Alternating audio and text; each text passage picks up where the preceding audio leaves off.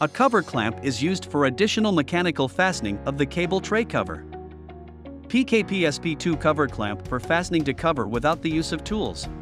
Install the clamp in the preset hole on the cover in cable tray, then rotate it for 90 degrees. Bend the clamp against the cover. PKPSP1 cover clamp for fastening to perforated cable trays of all heights. Before installing the cover, partly mount the cover clamp.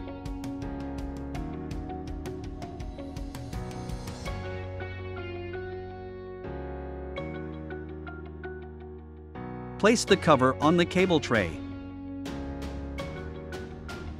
When the cover is placed, position the clamp and screw it using the bolt and the nut.